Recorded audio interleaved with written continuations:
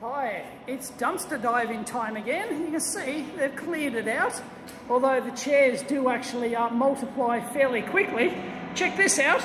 It's a uh, A3 color laser copier. It's a Fuji Xerox DocuCentre VC4476, somebody's secondary printer, and I've actually plugged it in here. We do have power down here, and somebody's actually, is this a test printout from it?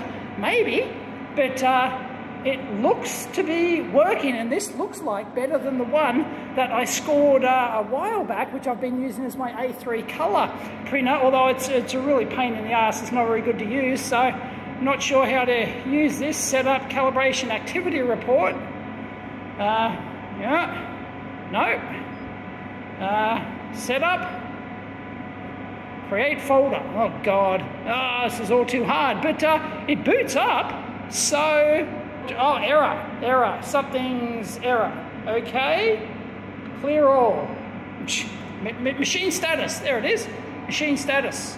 Uh, faults error history report.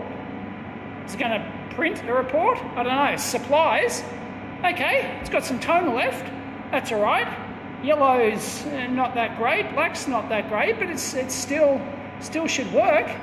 So machine info, uh, print mode, printer settings, machine configuration, paper tray status. I don't know. Don't know what the error is. Got no idea. But uh, services, home, copy, email, scan. Oh, I don't know. I think I have to take it back down to the dungeon and check it out. Could be a score, better than the one I've already got. All right, here it is down in the dungeon compared to my previous uh, dumpster find, which I have been uh, using. It's been my uh, A3 uh, colour printer. Uh, you know, seen a bit of use, especially for the kids and uh, stuff like that. They want to print something out for school in like A3 colour.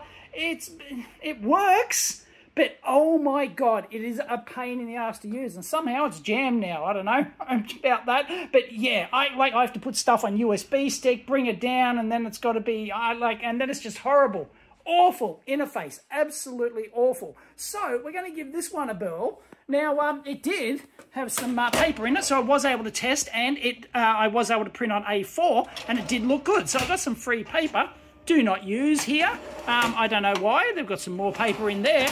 Um, there was no uh, paper, but it's got another A3 tray, and I had a couple of spare sheets left in there, so I put a uh, put some a couple of sheets in there, and let's print something, shall we? I've just got two things for A3 there. And uh, so let's do a copy and 100%. Let's do color. And uh, let's go plain A3, tray 1 there. So it does two-sided copying and everything else. So let's just use that. Uh, color, default, 100% go. Um, error, I don't know what the error is because it did. I was able to get it to print up there. So there we go. Well, well, well. And it's, of course, no surprise that it actually works because the company's downsizing, moving or whatever, and it's an older printer. They want to get a new one or whatever. But, like, let's have a look. Look at this.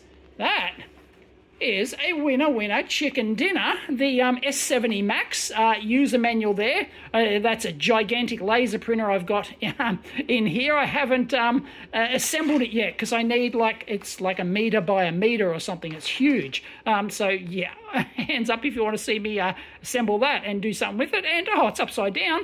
All the electrons are going to fall out of my uh, microcurrent board. So that looks fine and dandy. That looks like it's a winner winner chicken dinner. I know these things probably aren't worth a lot and you might be able to get them relatively cheaply, but uh, then you've got to, the thing is transporting these things, but they have handy wheels on them. So I was able to wheel it from the dumpster room down to the dungeon down here. Now, I uh, had a quick look online. This one seems more modern. It supports uh, Windows 10 uh, drivers. It seems to have, I think it has a Wi-Fi interface, so I'll try that. This thing is just absolutely useless as tits on a bull, um, but it does actually print, uh, but it's pain in the ass. This one could be way more convenient and uh, Windows 10 driver and maybe a Wi-Fi interface. I should be able to network connected, uh, perhaps, and then just press print upstairs and Bob's your uncle. But anyway, I'll give that a burl now.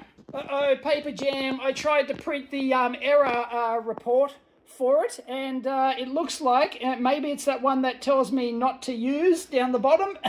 that could be it, maybe. So uh, yeah, maybe I shouldn't have. I didn't ask me which paper to use, so um, yeah, perhaps that's why that's in there, but that's all right. So I'll get rid of that, and we'll clear it, and I'll get back to you. And there she is. She's come a Kamagutsa there. It's uh, what? Oh, how do I? Oh, I'm not gonna. Maybe I shouldn't do this one-handed. I'll get back to you. and yep, sure enough, I think it's that uh, particular tray feeder. The other one printed uh, fine, and the error history report. It's only one page and uh, 2021. And these are pretty nothing burger tray feed out jam server not connected. And the latest ones down there, 2023 server not connected. No biggie. So yeah, I think it's a winner. Well, I got the like 700 page um, admin manual for this thing, and on page 322, it gave me the admin login, which was 11111, and I got in uh, color impressions, 188,000. Is that a lot? I don't know. Leave it in the comments down below. Uh, color, 117,000. Black, doesn't sound like a huge amount in the scheme of things. Uh, color, large impressions, so that'd be A3, 39,000. So 306,000 total pages, done a fair bit. Triple five spotted, uh, that's got to be a good omen. So, um, yeah, so I'm into the admin, but I'm not sure services home. Do I get more options? No. Uh, tools. Maybe I get more setup. Uh, I'll find, yeah, I don't think these were here before. Now, it didn't seem to have the Wi-Fi module built in, but I was able to connect it up to the Ethernets, and I just went upstairs, and once I set all the auto uh, DHCP uh, stuff and everything, went upstairs and uh, checked, and it was automatically added to the Windows printer drivers. Anyway, um, I printed a test print, haven't looked at it yet. There it is, it popped out. So winner, winner, chicken dinner.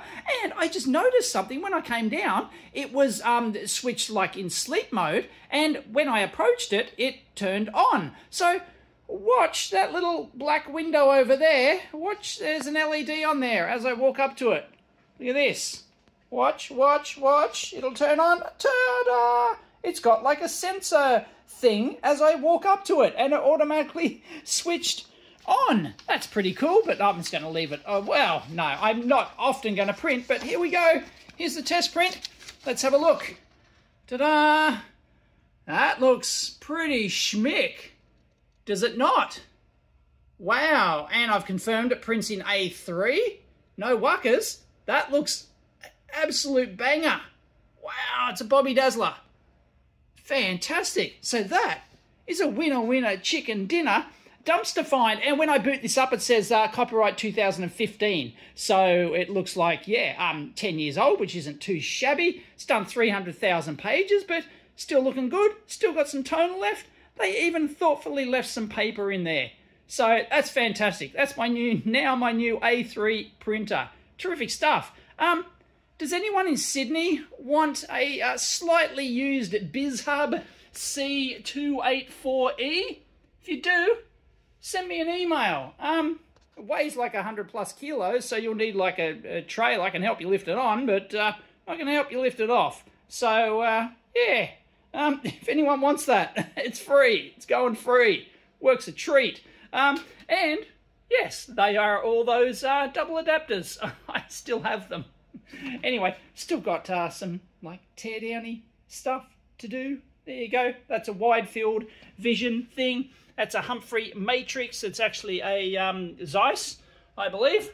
Um, wide field vision thing. I've got a few things in here. Anyway, fantastic. Dumpster score. Rate it out of 10 in the comments down below. Catch you next time.